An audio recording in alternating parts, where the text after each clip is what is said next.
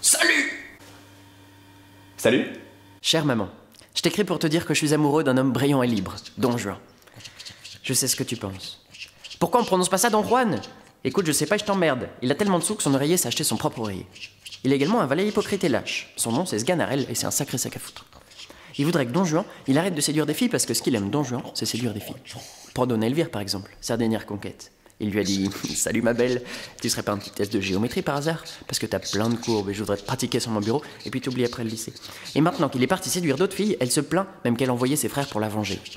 Putain, mais c'est qui qui fait le sketch sketch là? C'est moi, je suis ta plume, connard. Ah, bel organe. Merci.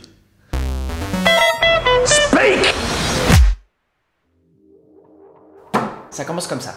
Don Juan est un connard que tard, il méprise la fidélité, et dès qu'il a chopé une meuf, il la jette à la poubelle. Ah non. Il est-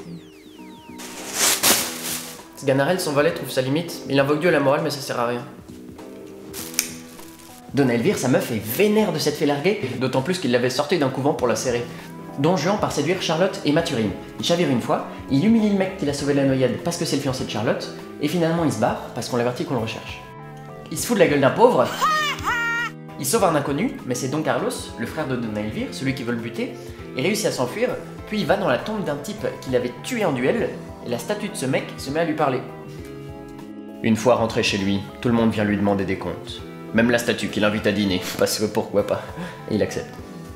Il ment une dernière fois à son père, il programme un duel avec Don Carlos.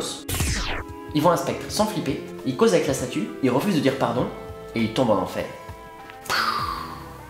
Il est mort Don Juan propose donc une réflexion sur le désir. Le désir qui amène le désir, qui amène à la ruine. Mais c'est pas seulement un désir simple, c'est-à-dire euh, je l'ai pas donc je le veux, mais un désir que René Girard Le grand René nomme désir mimétique.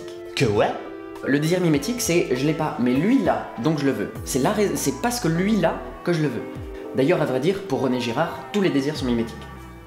Mon chéri, tu veux une gamelle contenant un crouton de pain? Oh non, c'est trop vintage, Ah, je m'en fous, j'aime pas ça.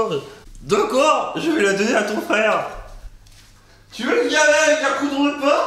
Ah ouais, trop bien Oh Je la veux C'est très mauvais. Attends, mais on regarde celle-là, hein Attends, je regarde, c'est au niveau du son, c'est c'est en bas, ça.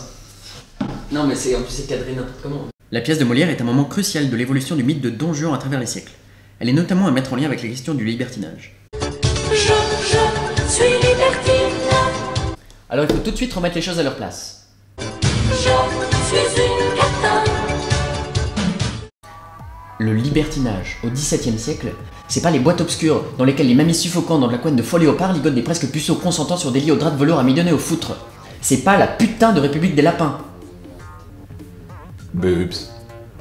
Au XVIIe siècle, on parle avant tout d'un libertinage d'idées. Je suis libertin parce que je refuse d'accepter ce que l'on m'enseigne. Et donc, fuck la religion, donc Don Juan. Don Juan, il s'en fout de dinguer à tout va. Lui, ce qui lui importe, c'est de défier la société. Il pose un gros fuck à son daron, un gros fuck au mec à qui il doit de l'argent, Monsieur Dimanche, et surtout, il pose un méta-fuck sur l'ensemble de la société en supra-fuckant le mariage. Parce que le mariage, c'est un fait aussi social que religieux. C'est ce qu'il fait dire à son serviteur Sganarelle. Sire, c'est moult forfanterie que vous faites là, vous vous moquez d'un mystère sacré, ça a fait riège Dieu, et il va te ken ta gueule, miskine Puis, plus tard, mais on en voit déjà les traces dans Don Juan, le libertinage devient un jeu social de conquête pratiqué par certains nobles. Le but devient alors de séduire ou de faire tomber Tringlé. telle ou telle personne vertueuse. Imbaisable.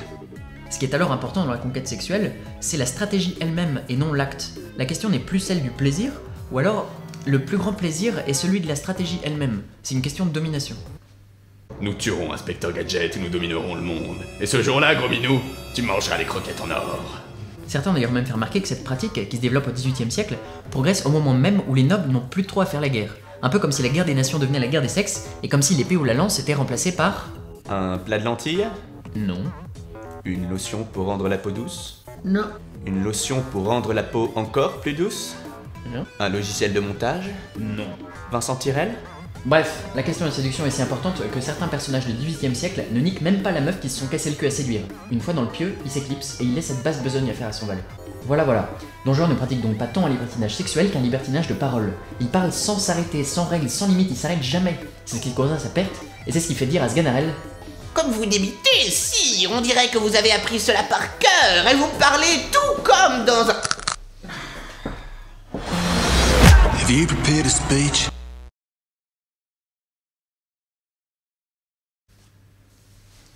Ninja, Marion Cotillard. Ninja intouchable.